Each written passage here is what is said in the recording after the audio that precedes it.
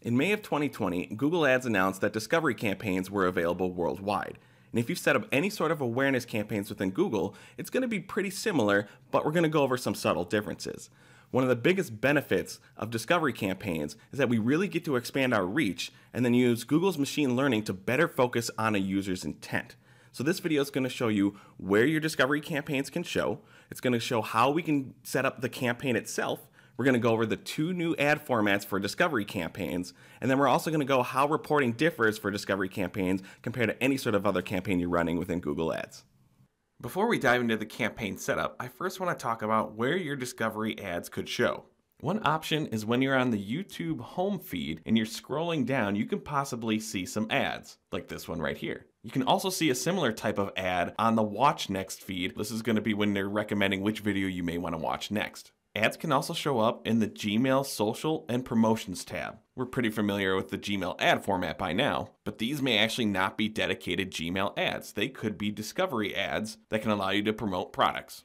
Your discovery ads can also show up on the Discover feed. So in this example, I'm a user, I'm just typing in a query into Google, and certain entities, like this one, has a follow button. One of the ways your discovery ads are targeted is based on what you may follow within Google. That's going to pass on some certain signals, so then when you're scrolling through the Discover feed, you may see ads related to certain topics, brands, or other things that you may follow within Google, and also based on other search histories like videos you've watched on YouTube's and a few other factors. But now let's jump into the campaign setup. To start setting up your Google Discovery campaign, click on the blue plus button and then select New Campaign. As with any new campaign you set up, Google has you select a specific campaign goal objective. To be able to run discovery campaigns, you need to choose one of the following campaign objectives. You could choose sales, leads, website traffic, or you can select the option to create a campaign without a goals guidance. Once you have chosen one of those four options, you will see the selections to choose a specific campaign type. And we can see the last option is for discovery campaigns, which is exactly what we're looking for. Next, hit continue, and now we're on the main portion of the campaign build. This is where we're really going to establish our settings for the discovery campaigns. So first we need to name our campaign. Next you can choose your specific locations, and this is going to be the same options you have for any other Google Ads campaigns. Right now I'm just going to leave it as is. Scrolling down a bit, we see the option for language targeting. After languages, we get to the bidding portion of the setup. In other campaign formats, we typically have the option to change what we want to focus on. But by default, Google Discovery campaigns are going to run on a target CPA bid strategy. So in this case, conversions are our only option to focus on. As we see on the screen, Google Ads is telling us a typical target CPA for a discovery campaign is $11.27. I could click apply and add that to my settings, or I can set my own target CPA. If you do not want to go with the default option for target CPA bidding, you can uncheck this blue box right here and then your settings will shift to use a maximize conversions bid strategy. Those are your only two options. So if you don't want to do maximize conversions and you want to try to have a little bit more control with the CPA, just click on this setting one more time, and the last target CPA that you entered will still be there. Scrolling down to the next section, you can enter in your daily budget. Underneath the budget, we have our additional settings. Here's where you can adjust your ad schedule, choose a start and end date for your discovery campaigns. If you need to update any of your campaign URL options for any tracking purposes, you can also do that at this point, and we have a video to show you how you can do that if you're interested. Next, you can choose which conversions you want to set for this campaign. By default, it's going to go at your account level conversions, but advertisers do have the option to set up campaign level conversions. And next, we have content exclusions. And I want to talk about this one a little bit more because this is another area within a Google Ads campaign where the advertiser loses control over a specific feature. And let me show you what I mean.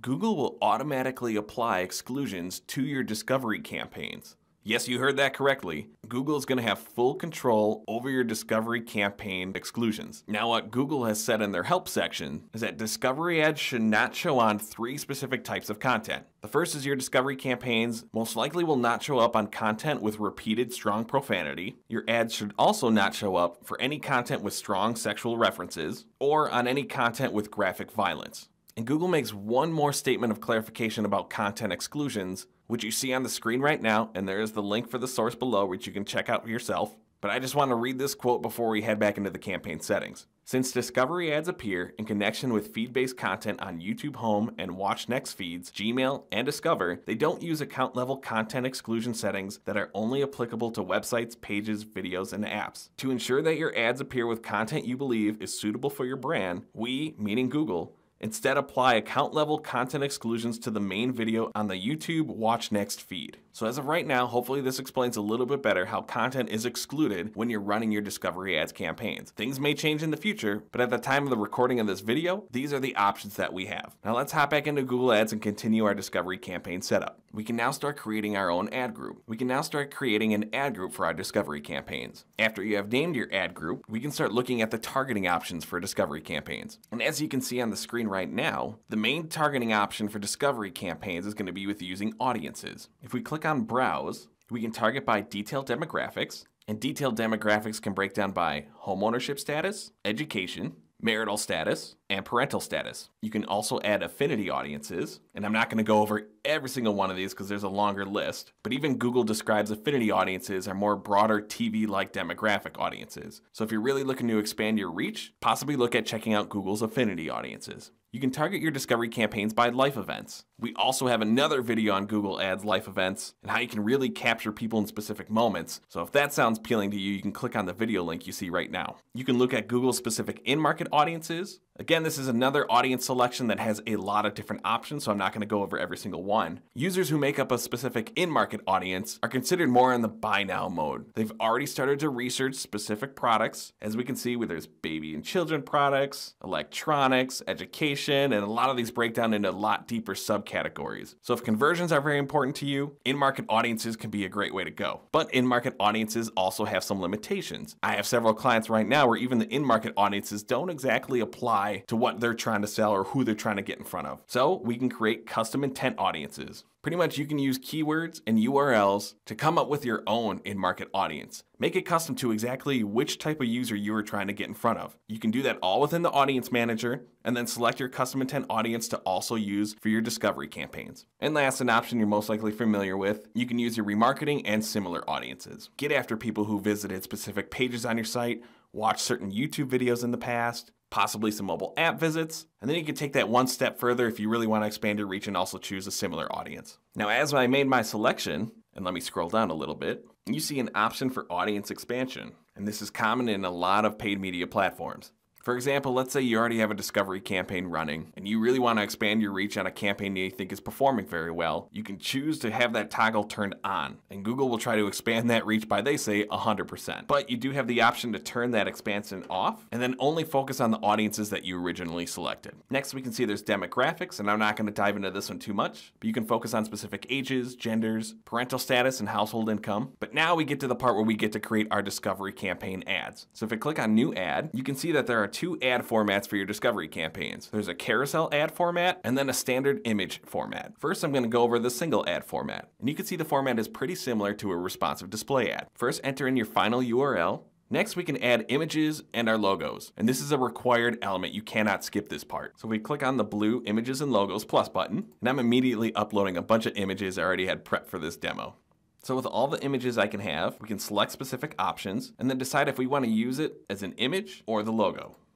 In this particular example, I want to make sure I'm using a logo, which must be a square logo. Heading back to the first image I selected, you can see that was the only one that fit the dimensions for a landscape image. Almost all the other images that I uploaded were square, and I would not be able to go any further until I had an image that met the landscape dimensions. You can select up to 15 different marketing images to use for your discovery ads. I'm okay with these images, so I'm just gonna click save. And you can see that we have certain elements in here now that my preview on the right hand side is gonna change. So let's move on to the next section. Now we can add up to five different headlines. I have a few prepared here, so I'm just gonna add them really quick. And the next part is we have the option to add up to five descriptions. After your descriptions, you can add your business name, and then you can choose your call to action text. The default setting for your call to action text is going to be automated. This means you are going to allow Google to pick the best one, hoping that they optimize for best performance. But if you want to have some sort of control, you can see there's a short selection of CTAs that we can choose. Going back up a little bit, you can use the preview tool to get a better understanding of what your discovery campaign ads could look like to a user. So we can select YouTube, you can preview what your ads will look like on Gmail,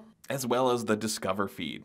And if everything looks good, we can scroll down and click Add to Ad Group. Now let's see what the carousel ad would look like. And as you can see, the format is different. We still need to add our final URL, but when we get to the headline and description, we don't get to add a variety of options and let Google decide. We get one headline and one description. And then add in your business name, Scrolling down a bit, we get to the images and logos portion of the Discovery Carousel ad. And this notification from Google is actually very important. All of the images for your carousel ad cards must be the same aspect ratio. Similar to all the carousel ads that you see on LinkedIn or Facebook, it's one image per carousel card. So if we go up to the recently used images and think I could just use the same images I just applied to the first discovery ad I created, it's clearly not gonna fly. So I'm gonna have to upload new images to satisfy this discovery carousel ad. So let me upload some new images real quick. And now I'm selecting each of these to use as my image, and I can go back and still use the same logo. Now we have all the images for our cards saved, we need to add a new headline for each additional card. Once you're done with the headline, you do have the option to change your final card URL. By default, it's going to pull in the final URL you initially entered when you first started creating the ad, but you can override the final URL if you want to send users to a very specific page, most likely to that specific product page that you are showcasing within the carousel ad. And then each individual card also has their own CTA. And again, we can leave it as automated or choose our specific CTA. If you click next, you'll be sent to the second card. Now I'm going to leave it as automated to the third, and the last one. I only have those four items. I can't go next, so we can select done. And now looking at the preview tool, we're getting some idea of how the Discovery Carousel ad can look in the wild. When you're setting up your Discovery Carousel ad, you have to have at least two cards with the option to go up to 10 cards. And if you're happy with how this ad looks, you can also add it to the ad group. Since those are the only two ad formats we have, I'm going to create the campaign, and the campaign is ready to run. Whenever we look at any campaign that relies on machine learning from Google, it's extremely important that you give your campaign some time to run. You most likely will not see success from a discovery ads campaign if you turn it on for a week, potentially not see the results that you want, and then shut it off. You're not giving it enough time. Here's some clarification on what I mean directly from Google.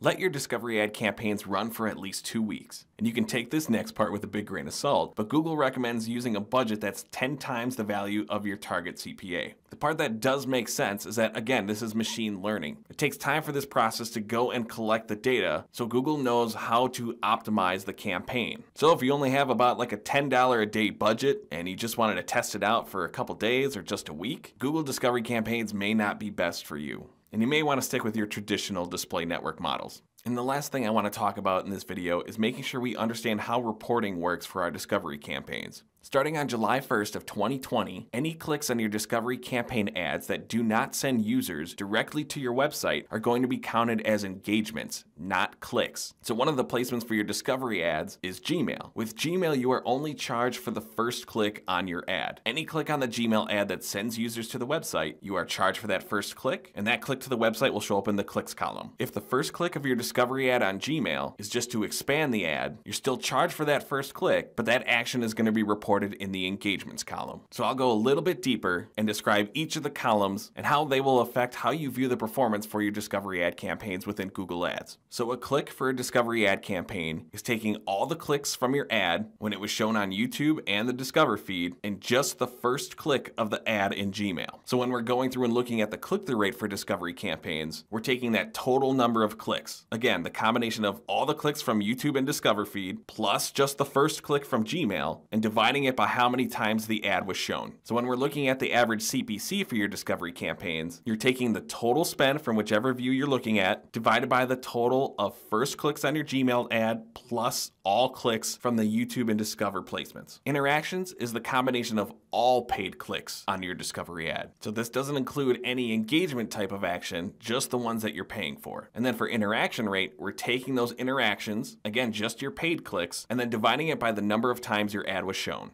Hopefully, now you have a better idea of how Google's discovery campaigns can better help you expand your reach and showcase your products to a very specific audience. Remember, these campaigns need time. We need machine learning to have enough data to actually make the proper decisions to optimize the accounts. So, hopefully, you have some better ideas of how you can utilize this if you're really focused on expanding your reach to a new audience. Thanks for watching our video. If you found it useful, give us a thumbs up below. We release a new video at least once a week, so if you want to see more from the Paid Media Pros channel, be sure to subscribe.